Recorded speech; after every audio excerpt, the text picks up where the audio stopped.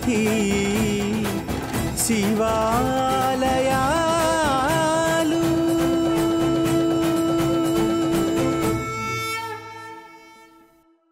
ఓం అరుణాచలేశ్వరాయ నమ. ఓం నమో భగవతే శ్రీరమణాయ. ఓం సుందరేశాయ నమ. శ్రీ శివనిధి శివాలయాల కార్యక్రమంలో ఈరోజు దర్శించుకునే విశేషమైన క్షేత్రం పెరువేలూరు. ఈ ఊరికి మనక్కాలయ్యంపేటై అనే పేరు ఉంది. ఈ క్షేత్రంలో ఈశ్వరుడు అభిముక్తేశ్వరుడు అమ్మ పార్వతీదేవి అభినాంబిక అనే పేర్లతో భక్తులను అనుగ్రహిస్తున్నారు.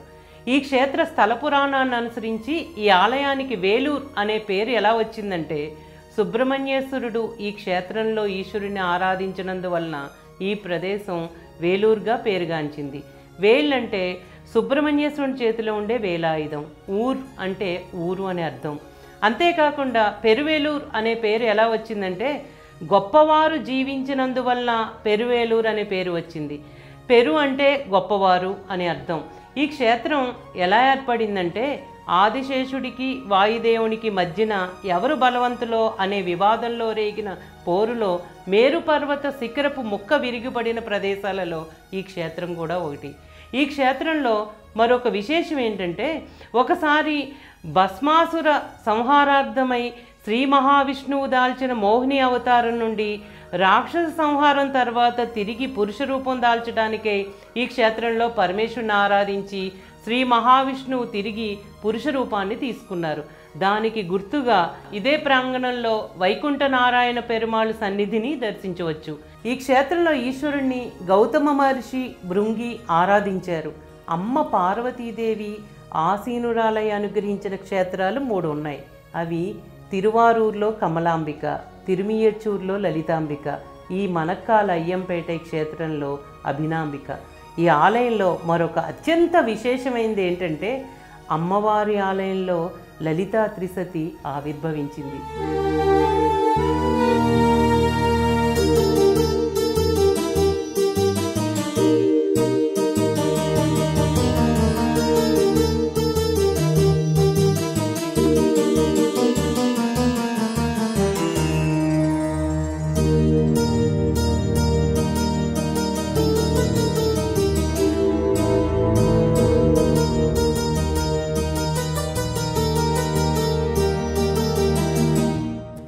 క్షేత్రంలో అరవై ముగ్గురు నాయనార్లలో జ్ఞాన సంబంధర్ అప్పర్ తమ దేవార పదికములతో ఈశ్వరుని కీర్తించారు. ఈ ఆలయం అరవై ముగ్గురు నాయనార్లలో ఒకరైన కోట్చెంగట్ చోళ నాయనార్ నిర్మించిన డెబ్బై మాడాలయాలలో ఈ ఆలయం కూడా ఒకటి. ఏనుగు ప్రవేశించ వీలులేని విధంగా నిర్మించిన ఆలయాన్ని మాడాలయం అని అంటారు. ఈ ఆలయంలో ఈశ్వరునికి మరో పేరు శేషపురీశ్వరుడు అమ్మ పార్వతీదేవికి రాజరాజేశ్వరుడు అనే పేర్లు కూడా ఉన్నాయి. ఈ ఆలయ విశేషం ఏంటంటే పూర్వాభిముఖంగా నెలకొని ఉన్న ఈ ఆలయం మూడంతస్తుల రాజగోపురం కలిగి ఉంది.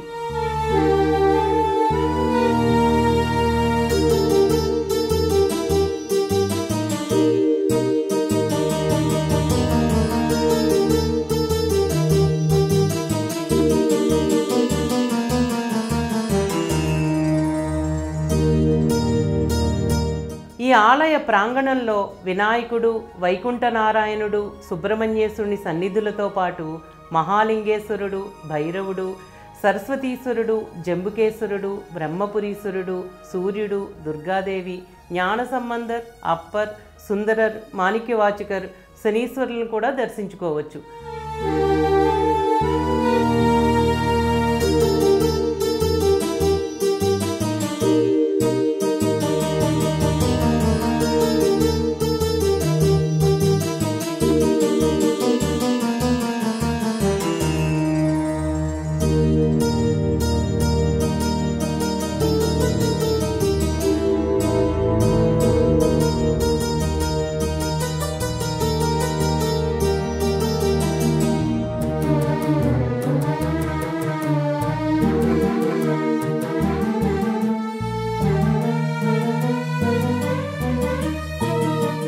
గర్భాలయం చుట్టూ దక్షిణామూర్తి లింగోద్భవర్ మృగండు మహర్షి దుర్గాదేవి కొలువుదీరి ఉన్నారు. చండీశ్వరునికి ప్రత్యేకమైన సన్నిధి ఉంది. గర్భాలయంలో పరమేశ్వరుడు చతురస్రాకార పానపట్టం పైన కొలువుదీరి ఉన్నారు. అమ్మ అభినాంబిక వీరాసన భంగిమలో చతుర్భుజాలతో పూర్వాభిముఖంగా ఆసీనురాలై భక్తులను అనుగ్రహిస్తుంది. ఈ క్షేత్రంలో స్థలవృక్షం జమ్మి తీర్థం శరవణ తీర్థం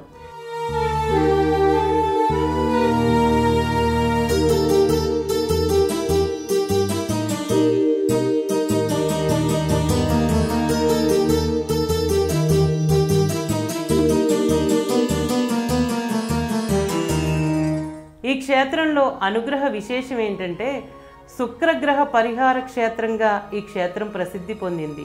అప్పుల బాధల్లో ఉన్నవారు ఈ క్షేత్రంలో ఈశ్వరుని ఆరాధించి ప్రార్థిస్తారు. వాక్కులో నత్తి ఉన్నవారు కూడా ఇక్కడ ఈశ్వరుని విశేషంగా ఆరాధించి సత్ఫలితాలను పొందుతారు. ఈ క్షేత్రానికి సమీపంలో దేవార పదికములు పొందిన క్షేత్రములు కరవీరం తలయాలంగాడు క్షేత్రాలు ఉన్నాయి.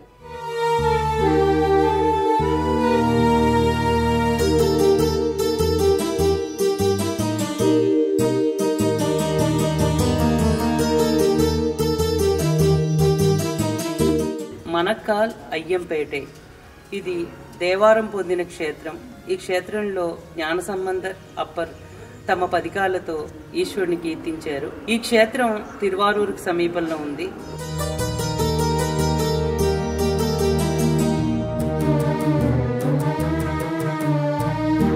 తిరువారూరు నుండి పదకొండు కిలోమీటర్ల దూరంలో శ్రీవాంచం నుండి ఆరు కిలోమీటర్ల దూరంలో ఈ ఆలయం నెలకొని ఉంది.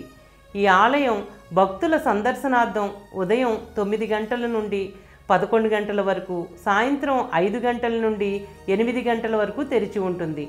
ఇంతటి విశేషమైన ఈ పెరువేలూరు క్షేత్రాన్ని దర్శించి అభిముక్తేశ్వరుడు అభినాంబిక అమ్మవార్ల అనుగ్రహం మనందరిపై ఉండాలని ప్రార్థిస్తూ ఓం నమో భగవతే శ్రీరమణాయ ఓం అరుణాచలేశ్వరాయ నమ ఓం సుందరేశాయ నమః.